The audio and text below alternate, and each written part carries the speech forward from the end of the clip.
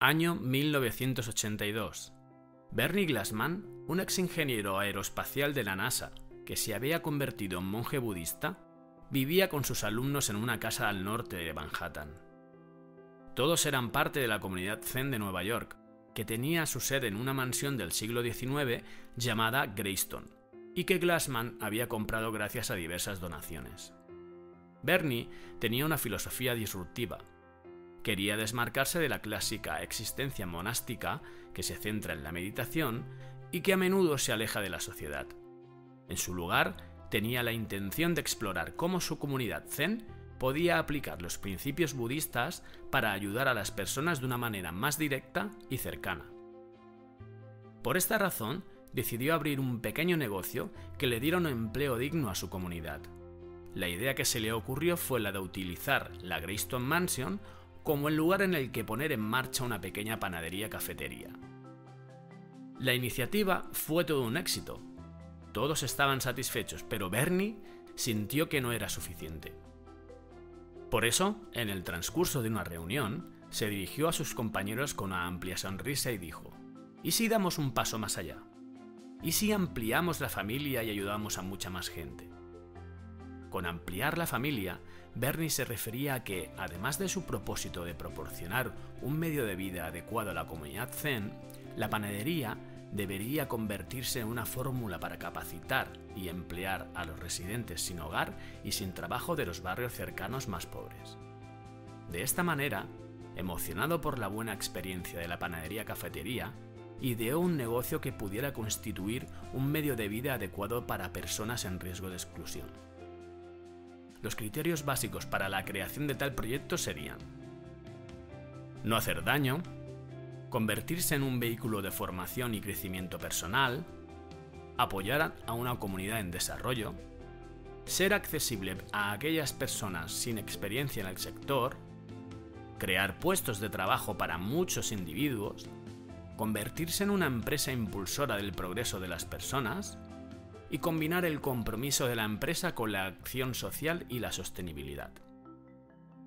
Se hallaba en ese proceso cuando el alcalde de Yonkers le propuso trasladar la idea de la panadería a dicha ciudad del estado de Nueva York. Ubicada en medio de una de las áreas suburbanas más prósperas del país, como es el condado de Winchester, la ciudad de Yonkers, paradójicamente, tenía una de las tasas más altas de personas sin hogar. Glassman y sus compañeros no lo dudaron ni un instante. La decisión estaba tomada. Cerrarían el café y venderían la Greystone Mansion. ¿Qué mejor lugar que Yonkers para poner en práctica todo lo que habían estado planeando? ¿Cuál era el siguiente paso a dar? Pues mudarse a una antigua fábrica de lasaña que en ese momento estaba en desuso ese sería el nuevo hogar donde construirían un proyecto con el que intentar cambiar el mundo, la Greystone Bakery. En su afán por conocer en profundidad la comunidad a la cual intentaba ayudar, Bernie y el resto de miembros del equipo original de Greystone se ofrecieron como voluntarios en un comedor de beneficencia local para entender la realidad de las personas en riesgo de exclusión. Cuanto más trabajaban con las personas sin hogar los desempleados y los pobres, más se reforzaba la necesidad de un enfoque holístico, integrado y multifacético. Ello ayudaría a esas personas a ser autosuficientes y romper el ciclo de dependencia que tenían con los servicios de asistencia social, tanto en drogas como en delincuencia y desempleo. Bernie entendió, entonces, que no bastaba con proporcionar formación y puestos de trabajo para tener y mantener ese empleo este colectivo también necesitaba cuidado infantil, vivienda, atención médica, asesoramiento sobre el abuso de drogas y problemas familiares, espiritualidad y un sentido de pertenencia y participación en una comunidad solidaria. El desafío era mucho mayor de lo que habían imaginado. Los habitantes de Yonkers estaban encerrados en un círculo vicioso y había que ayudarlos a escapar de él. Así fue como nació la filosofía del Greystone Mandala y el Pathmaking, es decir, los pilares fundamentales sobre los que se basaría el crecimiento de Greystone Bakery y su fundación. Una de las principales características que define el éxito de Greystone Bakery es la filosofía que siempre ha regido en la empresa, el path making o creación de caminos. Se basa en la creencia de que las personas pueden colaborar y recibir apoyo para poder lograr la plenitud. Esta teoría proporciona las bases necesarias para que encuentren y sigan su propio camino. La idea principal es que las personas siempre están en un viaje y que trabajando juntas pueden llegar al lugar donde pueden tener más éxito. Para ayudar a sus empleados a alcanzar este bienestar, Glassman desarrolló el Greystone Mandala. Se trata de un círculo de vida formado por cuatro componentes externos. Cuerpo, corazón, mente y espíritu, cuyas energías están unificadas en un quinto componente, el yo. En el nivel más básico, una persona necesita comida, ropa y cobijo. En el mandala de Greystone, esto se representa a través de la esfera del cuerpo, donde el propósito principal es la creación de riqueza para el individuo. Las emociones, las relaciones y el amor forman parte de la segunda esfera, el corazón, cuyo objetivo es la curación a nivel psicológico y anímico. La tercera esfera engloba la mente, donde el conocimiento y el intelecto son los elementos que ayudan a clarificar al individuo en torno a su crecimiento personal. El cuarto elemento, el espíritu, se define como la experiencia transpersonal y universal que tiene como finalidad el empoderamiento de la persona. Finalmente, el yo integra todas las esferas y por tanto tiene una energía unificadora. El mandala no es un modelo estático. Puede utilizarse para examinar la finalidad de las energías y comprender hacia dónde conducen. Pongamos por caso que una persona sin hogar entra en Greystone con un problema de abuso de sustancias psicotrópicas. Siguiendo el mandala, primero debería centrarse en el cuerpo y el corazón para empezar a dar un giro a su vida. De esta manera, en términos prácticos, conseguiría una vivienda habitual para luego trabajar en la salud física y emocional y conseguir erradicar su adicción a las drogas. Cuando esos aspectos se estabilizaran, las otras esferas del mandala, mente y espíritu, podrían convertirse en el principal foco de atención donde centrar su vida.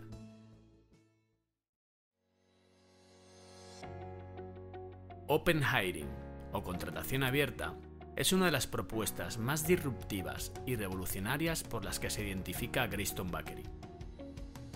A pesar de ser una idea de lo más simple, lo cierto es que esa misma sencillez es la que lo convierte en un instrumento ideal para ayudar a cambiar el mundo. Pero ¿en qué consiste Open Hiring? Open Hiring es una política para ocupar desempleados de larga duración sin realizar preguntas.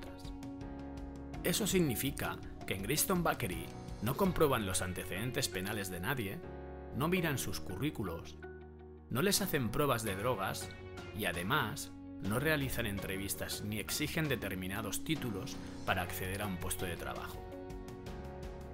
Así pues, en Greystone toman el dinero y el tiempo en comprobar antecedentes, hacer test de drogas, entrevistar candidatos, revisar currículums vitae o comprobar referencias para en su lugar invertirlo en la incorporación de trabajadores de puestos básicos, en formación, de habilidades blandas y duras, o dar acceso a servicios de apoyo integral que ayuden a los empleados a afrontar retos como la vivienda, el transporte, el cuidado de los niños.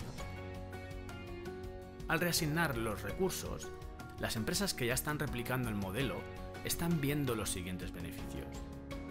Una reducción de costes en la contratación, una reducción de la rotación del personal, una mejora en la cultura empresarial, una reducción del tiempo de contratación, mejora del soporte entre trabajadores o una formación de un equipo más inclusivo.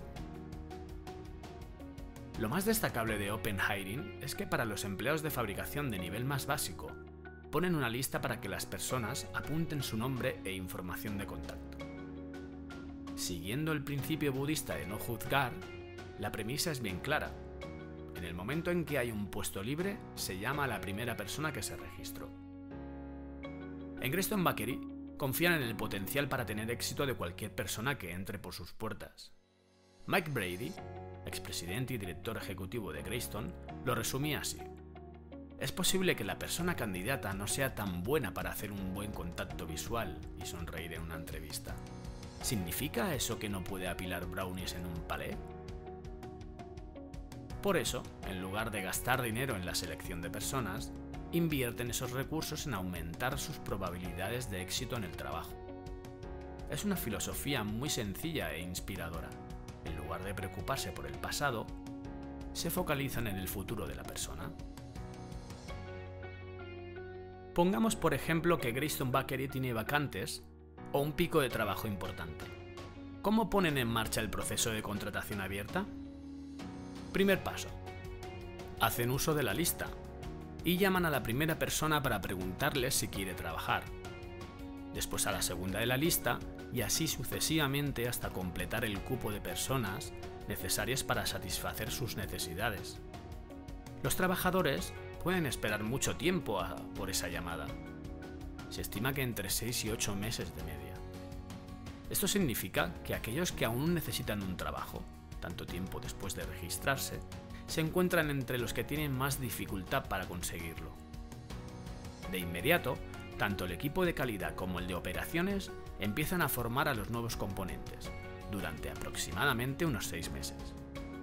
En Greystone están ansiosos por dar a la gente una oportunidad, pero al mismo tiempo quieren asegurarse de cumplir con todas las normas de seguridad, los estándares de calidad que precisan las empresas para las cuales trabajan y satisfacer a sus clientes en todo aquello que esperan de ellos. Esto significa que todos los miembros del equipo deben comprender estas expectativas, han de tener claro todo lo que hay que hacer y progresar en la manera que la empresa ha previsto y diseñado para el colectivo.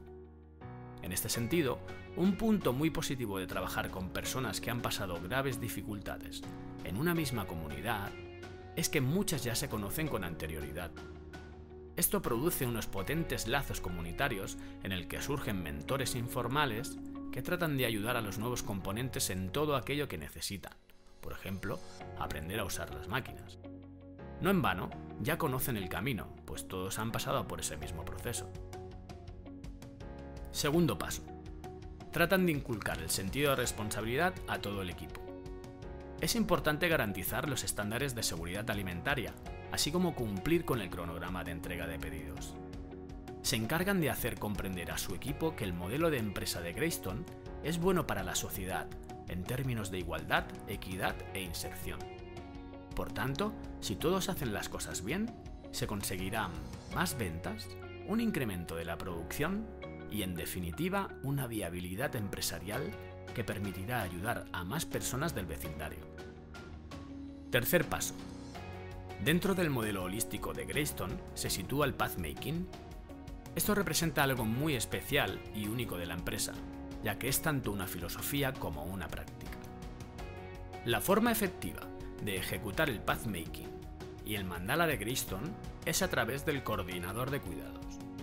Se trata de un miembro del personal que se reúne, de forma confidencial, con la fuerza laboral de la empresa para proporcionarles recursos respecto a cualquier necesidad que les pueda surgir. Por ejemplo, necesidades de vivienda, cuidado de sus hijos, asesoramiento para abandonar las drogas, servicios de salud mental o cualquier otra cosa que necesiten. Con el paso de los años y fruto de su experiencia en la gestión, en Greystone se dieron cuenta de que en el seno de la empresa no había muchos de los recursos que necesitaban sus trabajadores.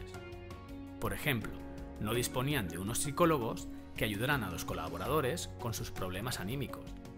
Por esta razón, tejieron alianzas con diversos actores sociales para intentar solucionar estas carencias. El Servicio de la Comunidad Judía del Condado de Winchester es el mayor proveedor de asistencia social de la comarca donde pertenece Yonkers y uno de los que más colabora con Greystone. Aún así, no siempre hay un final feliz en Greystone. Si a alguien no le gusta el trabajo no tiene motivación para cumplir con los estándares de su puesto, presenta problemas de disciplina, como la impuntualidad, o encuentra un puesto en otra empresa, le dejan marchar. Cuando sucede algo así, no le juzgan.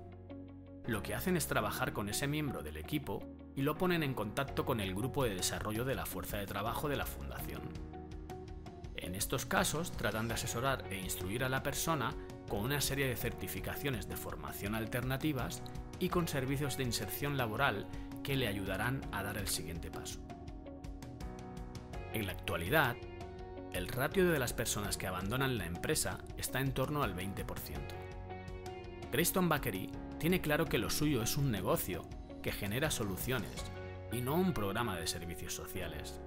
Por tanto, cada persona es libre de decidir lo que es mejor para su futuro. En el lado opuesto están las personas que siguen adelante y que encuentran que Greystone es un lugar ideal para ellas y un buen sitio donde aprender. Algunos de los supervisores han comentado que muchos de los nuevos integrantes se acercaban a ellos para compartir sus historias. Les decían, he estado luchando por encontrar un trabajo. Este es uno de los pocos sitios que me contrataría y no pienso arruinar esta oportunidad. Durante los primeros años de su existencia, la panadería creció constantemente, vendiendo tortas y pasteles a restaurantes, tiendas gourmet y servicios de catering para empresas de la ciudad de Nueva York. No obstante, uno de los momentos decisivos para Greystone Bakery fue cuando Bernie Glassman conoció a Ben Cohen, de Ben Jerry. De ipso facto, los dos líderes quedaron prendados de sus respectivos proyectos y llegaron a un acuerdo para que los brownies de Greystone sirvieran como ingrediente para hacer sándwiches de helado. Cuando Ben Cohen recibió en su primer envío de Greystone, todos los brownies se habían pegado formando rocas gigantes de unos 11 kilos. Se habían deshecho en el trayecto desde Yonkers a Vermont. Después de diversas pruebas y ensayos, se decidió que la mejor opción sería hacer pequeños trozos de brownie de unos 2,5 centímetros para conseguir el mejor producto posible. Y así fue como, de esta curiosa anécdota, surgió un nuevo sabor, el Chocolate Fudge Brownie con trocitos de Brownies Greystone. En la actualidad, este producto es el sabor más vendido de todo el catálogo de la heladera norteamericana. El contrato de Ben Jerry permitió que Greystone pasara de ser una pequeña empresa local a ser un proveedor de una empresa muy potente. El resultado fue que Greystone maduró hasta convertirse en una empresa más estructurada y mejor organizada. El acuerdo también significó que Greystone pudiera comprar maquinaria y buscar fondos para financiar el enorme crecimiento que implicaba esta alianza. Posteriormente, surgieron las alianzas con otras grandes empresas como la cadena de alimentación de Whole Foods, fundada por John McKay, ideólogo del capitalismo consciente, o Delta Airlines, que aportaron un gran incremento en la producción y una consolidación en la facturación. A medida que se detectaron nuevas necesidades, el entorno de apoyo también se extendió a espacios externos del ámbito industrial y laboral. Una buena muestra de ello es la Greystone Family Inn. Cuando Greystone recibió una subvención del Programa de Asistencia para la Vivienda del Estado de Nueva York para comprar y renovar un edificio abandonado, lo normal hubiera sido acudir a un contratista externo para su construcción. Pero tanta gente desempleada y dispuesta a trabajar, Bernie usó a personas del vecindario para renovar el complejo. El hecho de estar involucrados con la construcción del edificio consiguió que la gente se mostrara muy orgullosa de su colaboración y de manera paralela les permitió recibir valiosas habilidades de capacitación laboral. Este conjunto de acciones ha proporcionado, en el transcurso de décadas, el acceso a viviendas permanentes a muchos de los residentes más necesitados de la comunidad de Yonkers. En la actualidad, los servicios que ofrecen son la Greystone Early Learning Center, que proporciona atención infantil subvencionada, ayudando a los padres de niños pequeños a incorporarse al mercado laboral, la Greystone Workforce Development, que proporciona formación en habilidades, retención de empleo, asesoramiento profesional y servicios de colocación de empleo a la gente de Jonkers. En este caso en concreto son los que se encargan de gestionar la lista de espera para entrar en Greystone Bakery.